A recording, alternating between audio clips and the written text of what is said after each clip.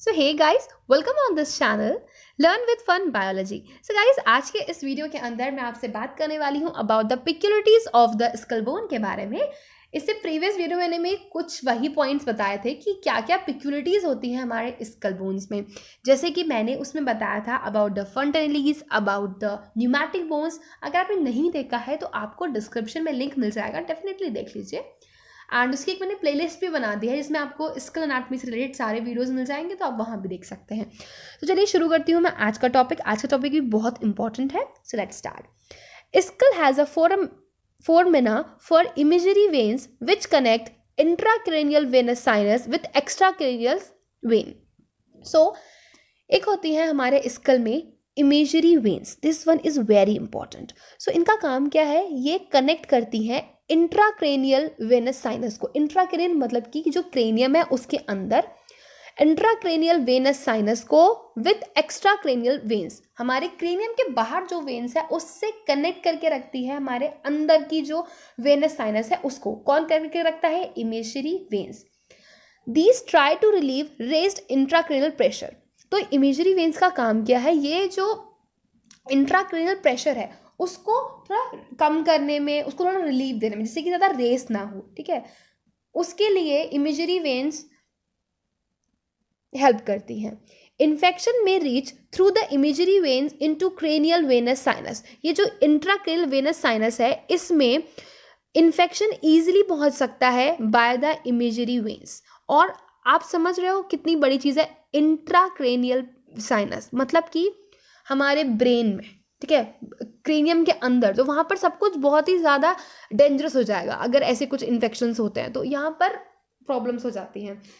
सो so, क्या point हमने पढ़ा कि इन्फेक्शन में reach through the emissary veins into cranial venous sinus as these veins are valveless so अभी तक हमने क्या पढ़ा है कि जितनी भी वेन्स होती हैं वो सब में वॉल्व होते हैं। क्यों वॉल्व होते हैं? क्योंकि जो आर्टरीज हैं वो तो हार्ट से निकल के सब ऐसे नीचे आ रही है तो ग्रेविटी के थ्रू सब में आ जाएगा ब्लड ठीक है सब अपने ऑर्गन्स में चला जाएगा बट जो वेन्स होती हैं वो हमारा ब्लड हमारे लोअर एक्सट्रीमिटीज से जो हमारे पैर वगैरह हैं या हाथ है इनसे सारा लेकर हार्ट तक पहुंचाती है। सो so, अगर हम ग्रेविटी की बात करें तो ग्रेविटी हर चीज़ को नीचे खींचना चाहेगी और हमारा ब्लड तो ऊपर जाना चाहिए जो कि डीऑक्सीजनेटेड है थ्रू द वेन्स सो अगर वेन्स में वॉल्व नहीं होंगे तो क्या होगा कि जो ब्लड है वो ऊपर नहीं जा पाएगा और बार बार वो नीचे से रह जाएगा। ठीक है?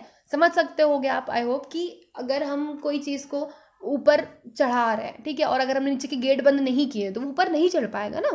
सो so, इसके लिए सब वेन्स में वॉल्व्स होते हैं बट जो इमेजरी वेन्स हैं इनमें वॉल्व नहीं होते हैं। सो so, इस बात को हमेशा याद रखना ये चीज़ इंपॉर्टेंट है।